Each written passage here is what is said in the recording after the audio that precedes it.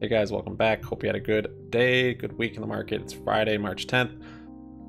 BBBY is ripping right now. We're gonna look at a little technical analysis, some SPY, uh, SVB Bank collapse, what's gonna happen next week. We're in the beginning of a market crash, potentially. Sub up, like up, comment down. Happy Money sticks around. Follow us on Twitter at Happy Money YT, as well as our Discord server. Link for both of those are in the description. Okay, so SVB has officially collapsed. I don't even know bankrupt. Whatever, they're closed. so if you have money in there, you're either gonna get FDIC to pay you out, or uh, yeah, they're gonna make some arrangements. I don't know. FDIC pays up 250,000. Um, the contagion is spread though, at least other banks and their tickers for today. We don't know if other banks are actually going to have an effect from it. It seems like they possibly could, very likely, in my opinion. Uh, it's kind of started with SI, Silvergate, kind of eased back and didn't necessarily collapse yet, but yeah.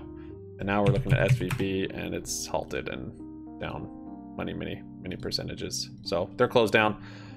Uh, this could be the beginning of of the crash that's been seemingly long overdue, but you need a catalyst and this could be it. So Josh just subscribed. Thanks for subscribing, Josh.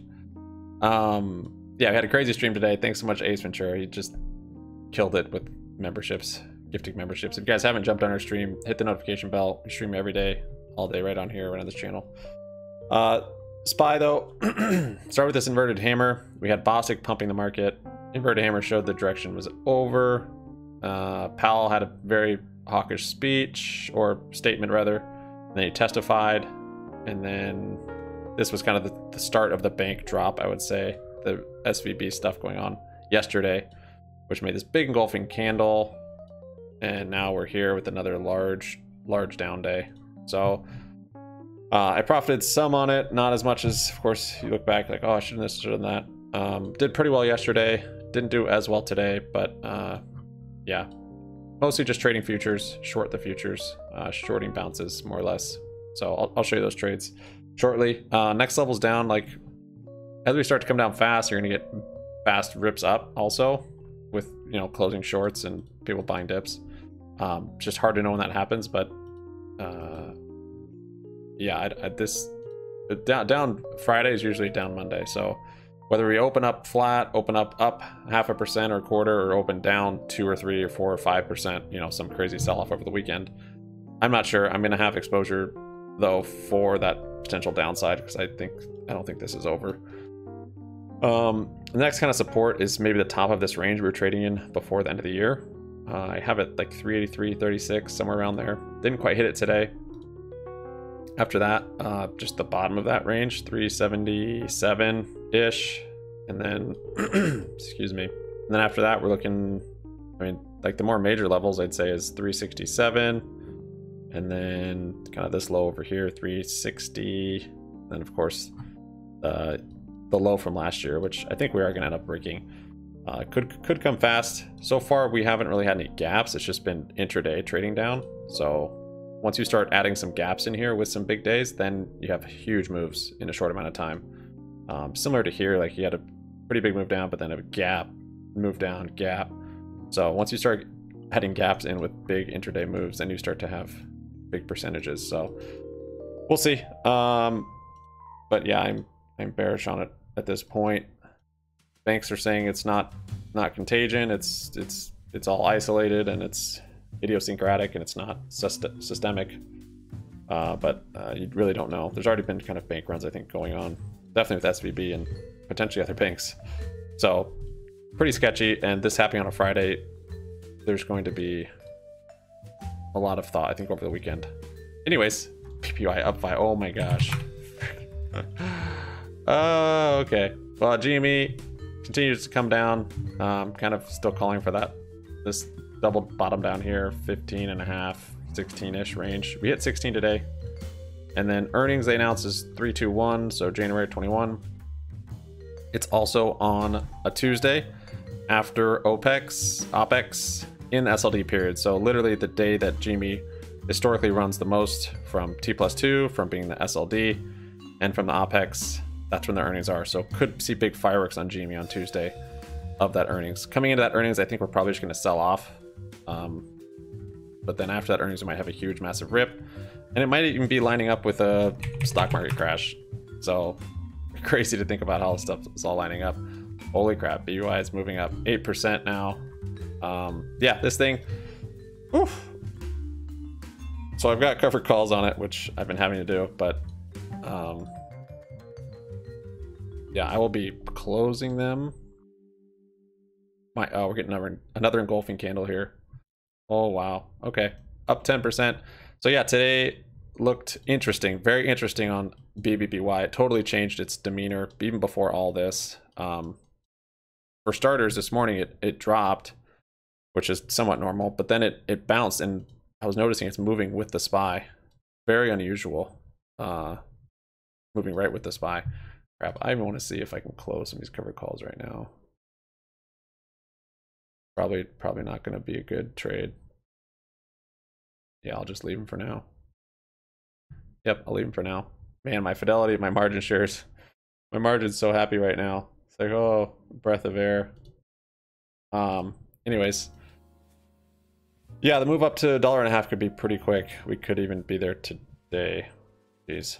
Anyways, um, yeah, so it was interesting today. It's coming down and it was actually moving with the spy, which is the first time I've seen it in the last few weeks. I've been watching BBBY closely. Uh, where, where are we on here? Here. This is today, yeah. So it was moving right with the spy, which is very odd. Usually it's been doing its own thing and then barcoding. So move with the spy on the drop and then the bounce did the exact same thing. And then right about here, it shut off and turned into the barcode algo. And see how the spy then um, the time frame on here is different. Look, Spy rallied up here and, and BBBY didn't. Then it turned back off. Spy was rallying, BBBY wasn't. And then Spy had its own rally right about here. Is that at the same time? No, they use totally different timing. That's here. So it was going on and off of like trading on a SPY algo or like overall market algo and this barcode penny stock algo. Um, that started at 1215. Yeah, yeah, very interesting. And then it went back to barcoding. And then, yeah, now it's just doing its own crazy skyrocket move. Um, but yes, this is the first time I've seen it where it's not been doing this barcode algo penny stock thing and it's actually traded with the SPY, which was a good sign that something different was happening. Um, the volume was picking up some. I had a couple volume spikes in there. Now with this huge volume spike in the end of the day, we're going to have big volume by end of day, or bigger at least, which is good, increasing volume. Um, if we end today with another engulfing candle, again, we had one back here, had a little bounce from it, and then it came down further. This one might actually be the bottom, though. Um, we'll have a bullish MACD, most likely, and we're going to probably have an RSI divergence. We'll have to wait till next week to see if that's actually uh, plays out, but basically this RSI is higher than this one, and this price is lower than this one, so decreasing price, increasing RSI lows, and Bob's your uncle, you're on your way up. So it's looking good for it, uh, even without this move here, because if you're if you're on stream today, I was telling you like today's looking good. If literally I was signing off and I'm like, if I had more cash or wanted to put more into it, I would be putting it in today.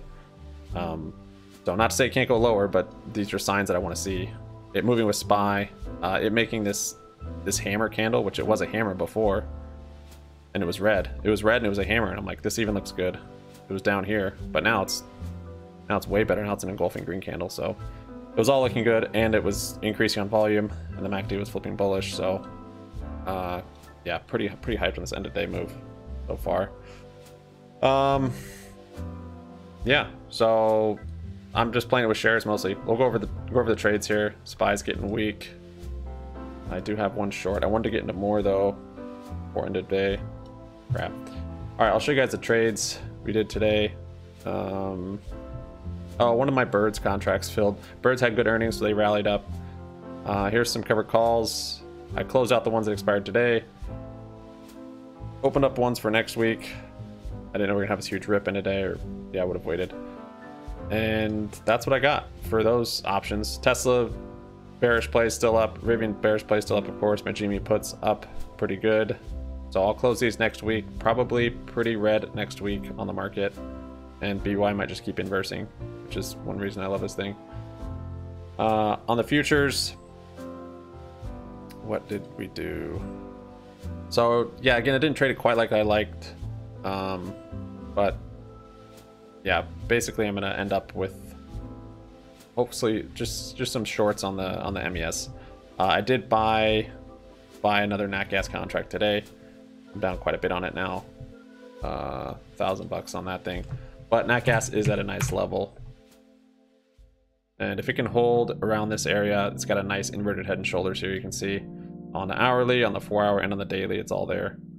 Um, so we'll see. I, I would buy more, but I'm going to kind of wait for more confirmation of the reversal and support being built, and and then uh, then I'll be good. But yeah, I have six contracts this so far, so that's much better than because at this rally I think I had like four. But we'll see. My only concern is demand destruction, recession, uh, less energy demands, less natural gas is being used, but it is already such a low price. I feel like that won't even. It still it still could go up from here even with less energy demand.